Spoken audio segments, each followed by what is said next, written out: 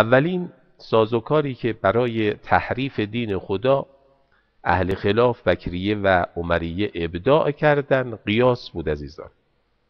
در تعریف قیاس گفتن قیاس اینه که واقعی رو که نسی بر حکم اون در دست نیست به خاطر مشابهت و یکسان بودن اون واقعه در علت حکم به واقعی که حکم اون در نس بیان شده است ملحق بکنیم.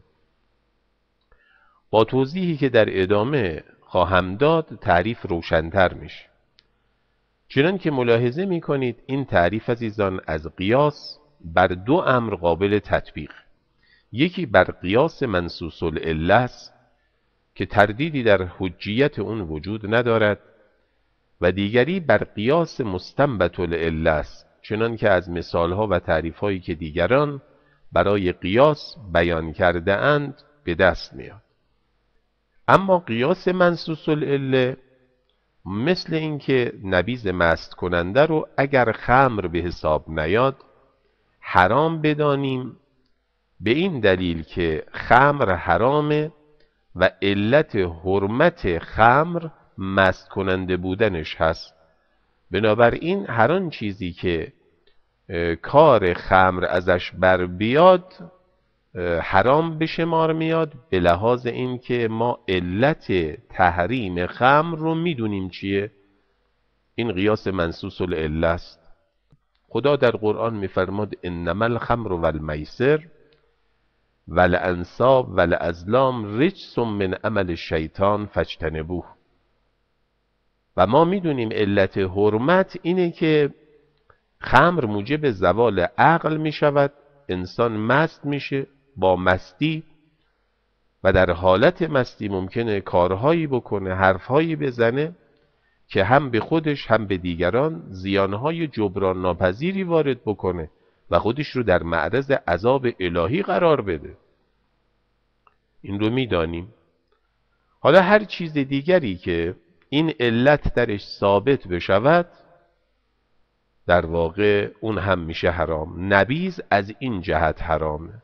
بنابراین وقتی میگیم قیاس منصوص العله مثل همین نبیز مست کننده که عرض کردم اگر اون رو خمر به حساب نیاریم اون رو حرام بدانیم به دلیل اینکه خمر حرامه و علت حرمت خمر هم مست کننده بودنش هست. می‌دونیم علت چیه؟ این قیاس به شمار نمیاد. چرا که از اموریه که حکم اون با سنت با آیات قرآن به واسطه تمسک به عموم علت ثابت شده است. به علاوه عزیزان قیاس قسیم سنت و در عرض اون هست نه قسمی از اون و در طول اون باش. بنابراین هر حکمی که علتش و منحصر بودن علتش و وجود اون علت در فرع یا مستحدثه با حجتی قطعی ثابت بشود منصوص العله باشه یا اون چیزی که با اولویت ثابت بشه. مثل حرمت کتک زدن والدین طبق آیه اف که اگر اف گفتن به اون بزرگواران حرام باشد کتک زدن اونها به طریق اولا حرامه. ظاهرا این مورد هم از موارد منصوص العله شمرده میشه. خدا میفرماد و قضا ربک الا تعبدوا الا ایاه و بالوالدین احسانا. اما یبلغن عندك الكبر احدهما او كلاهما فلا تقل لهما اف ولا تنهرهما وقل لهما قولا کریما. به استناد آیه شریفه 23 سوره اسراء ما میگیم با اولویت ثابت میشه. کتک زدن والدین حرامه. چرا؟ چون اف گفتن به اونها حرام. خب این قیاس قیاس منصوص العله است اما نوع دیگر قیاس یعنی قیاس مستنبت العله این قسم حقیقتا قیاسه چرا؟ چون علت حکم و منحصر بودن علت اون و وجود اون علت در فرع یا مستحدثه با حجتی قطعی نزد ما ثابت نیست و اسرار و حکمتها و علل حقیقی حکم الهی دور از دسترس و دور از اندیشه های ماست. به ویژه در عبادات. لذا قیاس بر اساس جهل به علت حکم و جهل نسبت به انحصار علت و جهل نسبت به وجود علت در مستحدثه یا فرع هست و بدین لحاظ قیاس باطله. اهل بیت اسمت و تهارت علیهم السلام و پیروان حقیقی اون بزرگواران قیاس مستنبت العله رو باطل و حرام می‌دانند و از اون نهی بلیغ کردند روایات عدیده ای در این خصوص هست. علاوه بر این عزیزان پاره از صحابه رسول خدا و همه دانشوران شیعه به جز ابن جنید و از شافعی جز در آنچه که علت منضبط باشه نقل شده است. همه اینها قیاس رو حرام و باطل می‌دانند. حتی از ظاهریه حتی از نظامیه هم قول به حرمت قیاس نقل شده است. اما اکثر علمای اهل خلاف یعنی بکریه و عمریه به قیاس احتجاج کردند. مهمترین ادله ای رو که این به اصطلاح علما برای حجیت قیاس از آیات قرآن کریم از سنت از اجماع و عقل اقامه کردند. این مواردیه که خدمت شما عزیزان ارائه می‌کنم.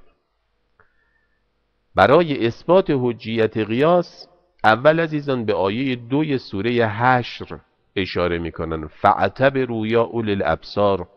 خدا میفرماد عبرت بگیرید.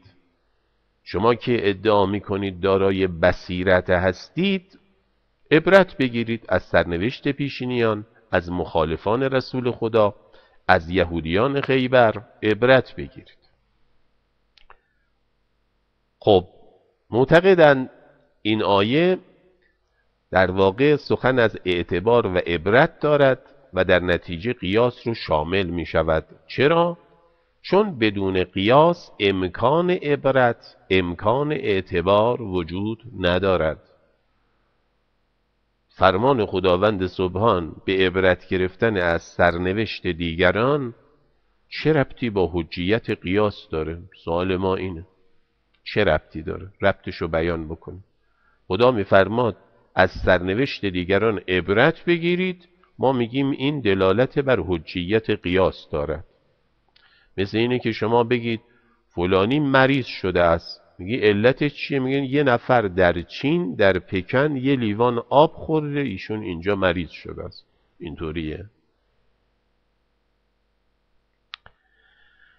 آیه دومی که ذکر می‌کنن عزیزان آیه اطیع الله و اطیع الرسول و اولی الامر منکم هست که در ادامه میفرماید فان تنازعتم فی شیء فردوه الی الله و الرسول ان کنتم تؤمنون بالله والیوم الاخر ذالک خیر و احسن تعویلا.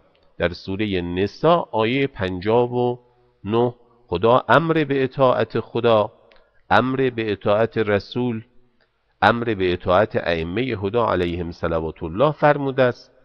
و بعد میفرماد اگر تنازعی روی داد بین شما به خدا و رسول خدا ارجا بدید. اگر ایمان به خدا و ایمان به آخرت دارید این برای شما بهتر است.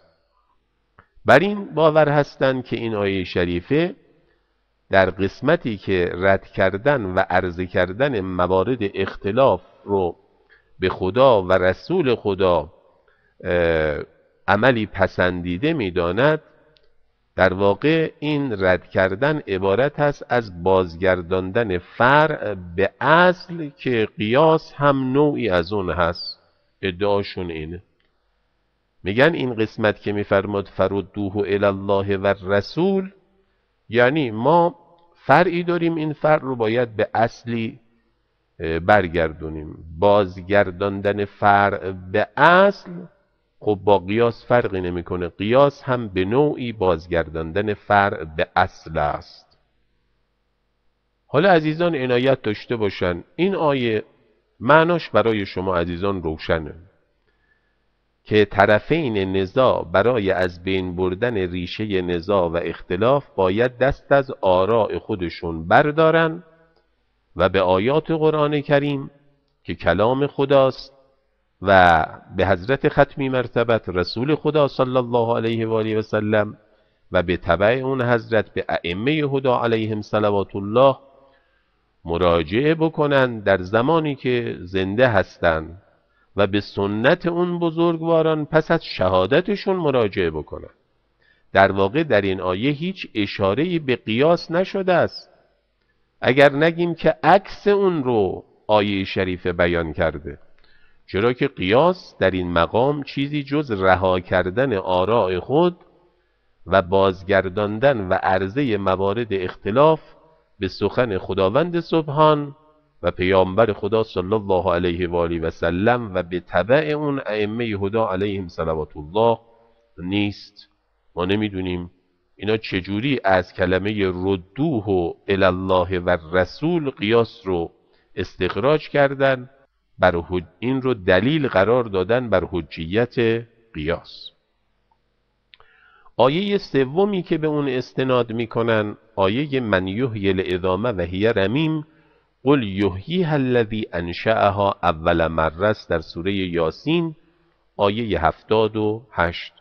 میگن در این آیه خداوند سبحان برای اثبات قدرتش بر احیای اموات پس از مرگ به آفرینش اولیه تمسک و استدلال کرده است و این استدلالی از نوع قیاس لذا قیاس حجیت دارد.